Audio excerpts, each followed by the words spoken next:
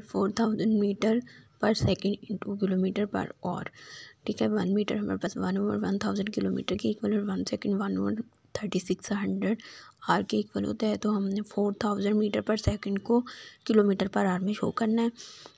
Four thousand one metre हमारे पास होता है one over one thousand kilometre और जो हमारे पास वन सेकेंड है, वो one over thirty six hundred hour के इक्वल होता है।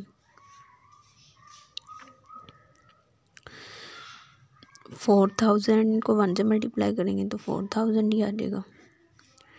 ओवर में वन थाउज़ेंड ठीक है, और ये जो हमारे पास थर्टी सिक्स हंड्रेड है, ये फोर्थ वाली जो वैल्यू होती है, वो फ़र्स्ट के साथ जाके मल्टीप्लाई होती है तो थर्टी सिक्स हंड्रेड आ जाएगा। इसका आंसर हमारे पास आ जाएगा टू ज़ीरो टू ज़ीरो से कैंसिल वन वन से। तो four hundred multiply by thirty six इनको मल्टीप्लाई करके हमारे पास आंसर आ जाएगा।